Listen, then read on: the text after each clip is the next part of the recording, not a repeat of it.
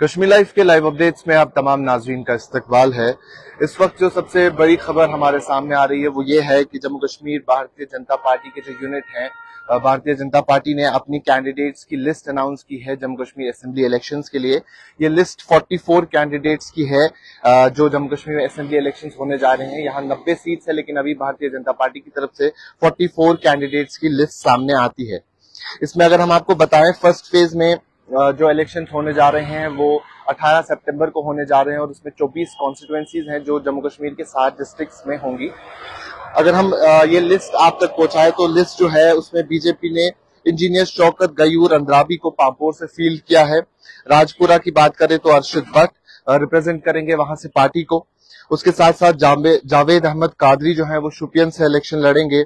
और मोहम्मद रफीक वानी जो है, वो अनंतनाग वेस्ट और एडवोकेट सैयद वजाहत जो है वो अनंतनाग से इलेक्शन लड़ेंगे। ये कुछ साउथ कश्मीर की कॉन्स्टिट्युएंसीज हैं। उसके साथ साथ अगर हम सोफी यूसुफ की बात करें तो वो सिरगुफारा बिजब्यारा से इलेक्शन लड़ेंगे। ये भी साउथ कश्मीर की कॉन्स्टिट्युएंसी है, जो फ़र्स्ट फ़ेज़ में इलेक्शन होने जा रहे हैं, उसमें ये कॉन्स्टिट्युएंसी शामिल है। वीर सराफ जो है, वो शांगस अनंतनाग ईस्ट से इलेक्शन लड़ेंगे।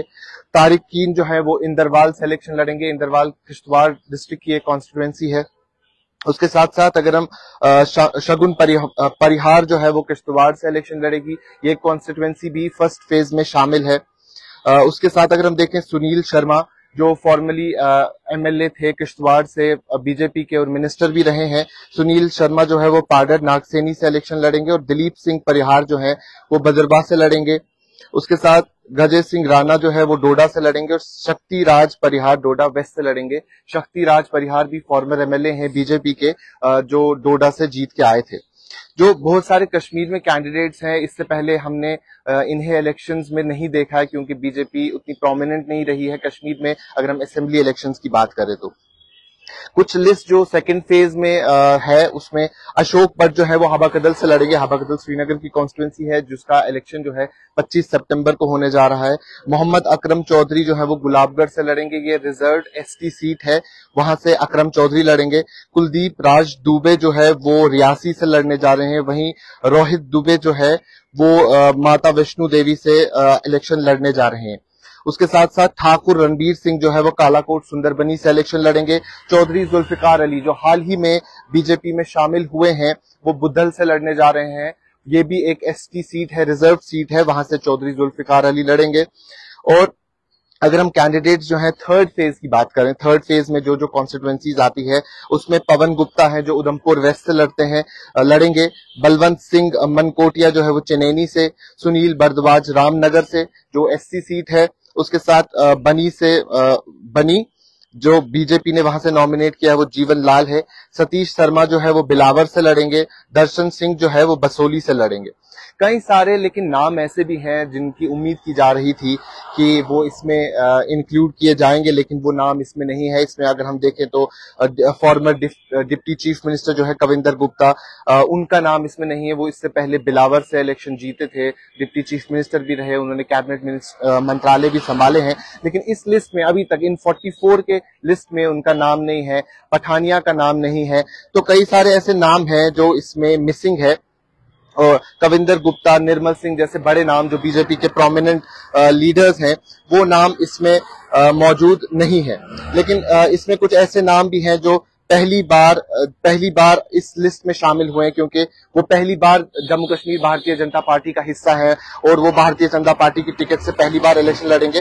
उसमें अगर हम देखें तो सबसे बड़ा नाम जो है वो नगरोटा से डॉक्टर दविंदर सिंह राणा का है। डॉक्टर दविंदर सिंह राणा इससे पहले नेशनल कॉन्फ्रेंस में थे, जम्मू के प्रोविंशियल प्रेसिडेंट थे नेशनल कॉन्फ्रेंस के नगरोटा से इलेक्शन जीते भी हैं। नेशनल कॉन्फ्रेंस के साथ काफ़ी लंबे वक्त तक जुड़े थे, लेकिन हाल ही में कुछ वक्त पहले उन्होंने भारतीय जनता पार्टी ज्वाइन की और इस बार उन्हें जो है टिकट मिल रहा है नगरोटा से बीजे बीजेपी का टिकट मिल रहा है नगरोटा से। जम्मू वेस्ट की बात करें तो श्री अरविंद गुप्ता, जो कि इसमें मेंशन है, अरविंद गुप्ता जम्मू वेस्ट से इलेक्शन लड़ेंगे, जम्मू नॉर्थ से Shyamlal Sharma former cabinet minister जो है वो जम्मू नॉर्थ से लड़ने जा रहे हैं। अखनूर से मोहन लाल भगत इलेक्शन लड़ने जाएँगे। अखनूर एक एससी सीट है, एक रिज़र्व सीट है तो वहाँ से मोहन लाल भगत लड़ेंगे। और साथ ही साथ छम्ब एरिया जो है बॉर्डर इलाका है, वहाँ से राजीव शर्मा इलेक्शन लड़ने जा रहे हैं। जम्मू ईस्ट से युद्धवीर सेठी है आर एस पूरा जम्मू सौर से जम्मू साउथ से नरेंद्र सिंह, रैना इलेक्शन लड़ने जा रहे हैं सुतेजगढ़ से। गौरू राम भगत इलेक्शन लड़ेंगे। सुचेतगढ़ भी एक एससी सीट है, एक रिज़र्व सीट है। विजयपुर से चंद्र प्रकाश गंगा, सांबा से सुरजीत सिंह सलाथिया। सुरजीत सिंह सलाथिया भी बीजेपी में अब शामिल हुए हैं। पहले वो बीजेपी का हिस्सा नहीं थे।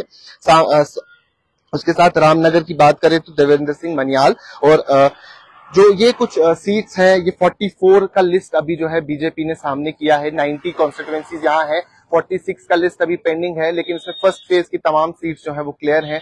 सेकेंड और थर्ड फ़ेज़ के भी कुछ लोग इन्होंने जो है इसमें इंक्लूड किए हैं। तो 44 का एक लिस्ट बनता है, जो बीजेपी ने अभी आगे लाया है। इसमें कश्मीर में भी इससे ये साफ़ ज़ाहिर होता है कि इस बार बीजेपी शायद तमाम 90 की 90 सीट पे इलेक्शन लड़ने जा रही है और बीजेपी जो है कश्मीर में भी अपने कैंडिडेट्स फ़ील्ड करेगी।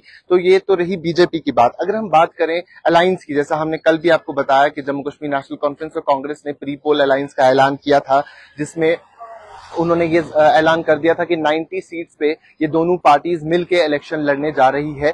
लेकिन अभी तक फ़र्स्ट फ़ेज़ के कैंडिडेट्स की अनाउंसमेंट भी नहीं हुई है। आज 26 अगस्त है और कल, यानी 27 अगस्त को आखिरी डेट है कैंडिडेट्स नॉमिनेशन फ़ाइल करने की फ़र्स्ट फ़ेज़ के लिए।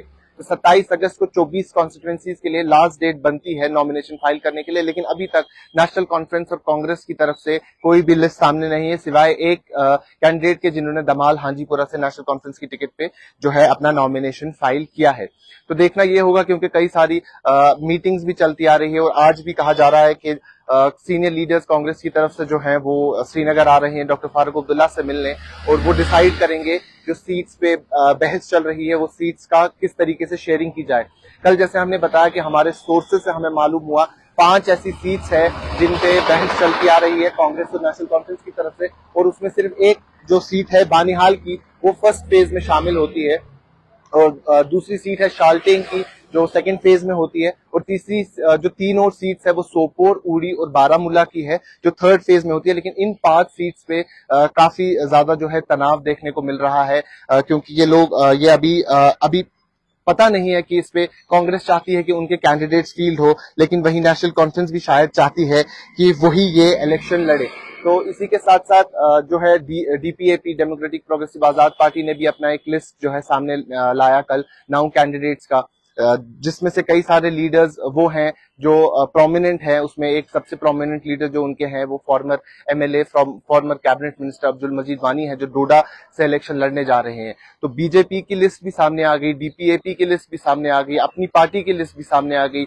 वहीं पीडीपी के कुछ कैंडिडेट्स ने भी अपना जो है नॉमिनेशन फ़ाइल किया है, लेकिन फॉर्मली उनकी लिस्ट अनाउंस तो नहीं हुई, लेकिन उन्होंने कॉन्स्टिट्यूंसी इंचार्ज जो है, वो अनाउंस किए हैं। जिसपे नेशनल कॉन्फ्रेंस का ये कहना कि कॉन्स्टिट्यूंसी इंचार्ज तो हमारे पिछले दस साल से काम करते आ रहे हैं और इलेक्शन से पहले ही या नॉमिनेशन डेट फ़ाइल करने से पहले ही हमारी लिस्ट भी सामने आ जाएगी। लेकिन एक दिन बचा है, महज एक दिन की एक दिन का वक्फा बचा है और अभी तक जो है नेशनल कॉन्फ्रेंस और कांग्रेस की लिस्ट जो है, वो सामने नहीं आती है। इसमें अगर हम थोड़ा लार्जर पिक्चर देखें तो जो अलायंस रहता है अलायंस की जो पॉलिटिक्स रहती है वो जितना एक आम इंसान को लगता है कि सिंपल है, उतना सिंपल अक्सर नहीं होता है। ये मीटिंग्स जितना मैंने आपको पहले भी बताया था कश्मीर लाइफ के वसाजत से आपको हमने पहले भी ये बात बताई थी। कि जम्मू कश्मीर नेशनल कॉन्फ्रेंस और कांग्रेस की जो अलायंस है, इस पे मीटिंग्स काफ़ी लंबे वक्त से चल रही थी। पाँच रुकना कमेटी दोनों तरफ़ से थी। पाँच नेशनल कॉन्फ्रेंस के मेंबर्स और पाँच कांग्रेस के मेंबर्स जो मीटिंग करते आए थे। और तीन से चार दिन वो मीटिंग चली। उसके बाद जो है, हमने अनाउंसमेंट सुना था नाइन्टी सीट्स के लिए जो उन्होंने कहा था कि हम 90 सीट्स पे अलायंस करके लड़ेंगे। अभी 60 और 30 की भी एक अफवाह चलती आ रही है कि 60 सीट्स पे जो है, वो जम्मू कश्मीर नेशनल कॉन्फ्रेंस लड़ेगा। वहीं 30 सीट्स पे जो है कांग्रेस लड़ेगा। इसमें पीडीपी की भी बयानबाजी सामने आती है। जब मैनिफेस्टो रिलीज़ होता है तो पीपल्स डेमोक्रेटिक पार्टी की president, former chief minister Mehbooba Mufti कहती है कि अगर जम्मू कश्मीर नेशनल कॉन्फ्रेंस और कांग्रेस मेरे एजेंडा को फॉलो करने के लिए तैयार है, जो मेरी कश्मीर पॉलिसी है, उसको फॉलो करने के लिए तैयार है तो शीट सीट शेयरिंग जो है, वो दूर की बात है, अलायंस दूर की बात है, मैं इनके पीछे चलने को तैयार हूँ। जिसपे कल जम्मू कश्मीर नेशनल कॉन्फ्रेंस के वाइस प्रेसिडेंट का ये बयान आता है कि हमारा और आपका एजेंडा सेम है, जहाँ एनसी कांग्रेस का कैंडिडेट है, वहाँ आप अपना कैंडिडेट फील ना करें। तो ये हीट अप ये गर्मा गर्मी तो इस सियासी माहौल में चलती रहती है। जब इलेक्शंस का टाइम आता है तो ये तमाम बातें अक्सर चलती रहती है। लेकिन अभी की जो सबसे बड़ी खबर ये है कि भारतीय जनता पार्टी जो है, उन्होंने 44 कैंडिडेट्स की लिस्ट अनाउंस की, और इससे ये साफ़ ज़ाहिर होता है कि पार्लियामेंट्री इंतबात की तरह वो इस बार यहाँ से मिसिंग नहीं रहेंगे। लोकसभा के इंतबात में वो कश्मीर से तो इलेक्शन नहीं लड़े थे, लेकिन ऐसा कहा गया था कि उनकी सपोर्टेड पार्टी जहाँ से इलेक्शन लड़ रही थी, जो तमाम पार्टीज़ उनको, जिनको वो सपोर्ट कर रहे थे डायरेक्टली और इनडायरेक्टली वो इलेक्शंस हार गए थे। लेकिन इस बार ये साफ़ ज़ाहिर है कि जम्मू कश्मीर में जो असेंबली इलेक्शंस है, उसमें भारतीय जनता पार्टी कश्मीर में भी इलेक्शन लड़ेगी। और जैसा उनके प्रेसिडेंट ने कहा कि हम तमाम नब्बे की नब्बे सीट्स पे इलेक्शन लड़ने जा रहे हैं। अभी के लिए इतना ही, कैमरा पर्सन उमरदाद के साथ शादाब गिलानी, कश्मीर लाइव श्रीनगर।